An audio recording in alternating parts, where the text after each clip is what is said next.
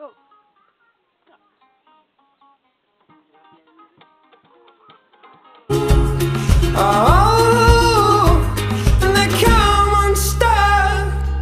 Welcome, my name is Tiffany Isabel Bonilla Basantes. I am a volunteer of the Ecuadorian Red Cross Cotopaxi Provincial Board. The project I Know How to Act, Sé Actuar, Ñuka Ushani is an early warning project for an eruptive process of the Cotopaxi volcano, aimed at the parishes that are in unsafe areas and will be affected by lahars. My project targets the 16,000 inhabitants of the urban parish of San Buenaventura.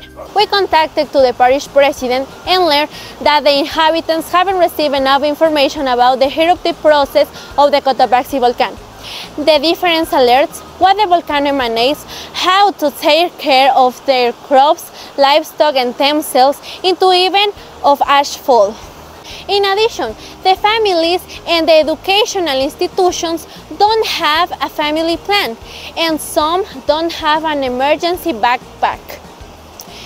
There aren't have a good signs and the two sirens aren't enough to cover the entire parish. The action plan is divided in nine phases.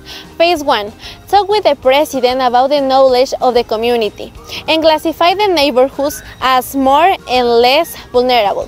Phase 2 Organize the community for talks in order to train them on what to do in case of an eruption.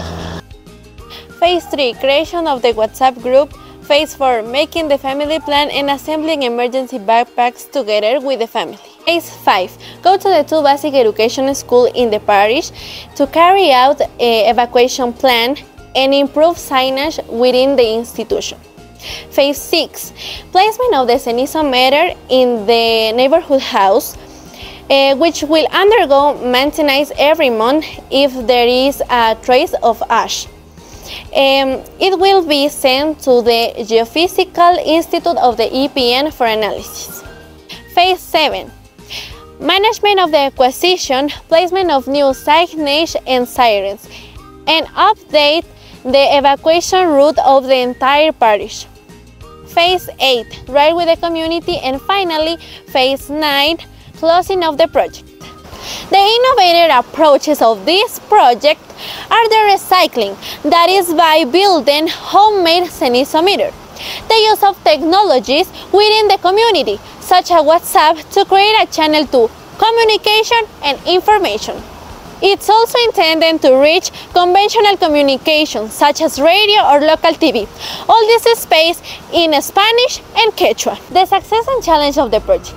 The success lies in the fact that the population allows us to generate this link to strengthening their capacities. The challenge is to call the attention of the community so that they get involved in this project in a positive way with all the predisposition to put into practice what they have learned. In conclusion, what the project seeks to do is to disseminate information for the community so that it can stand up for itself and that its response capabilities and resources are effective in the event of a possible eruption and also that the channel is open to receive news from the cenizometer, care tips, and thus provide a good follow-up. Thank you. Go. Go.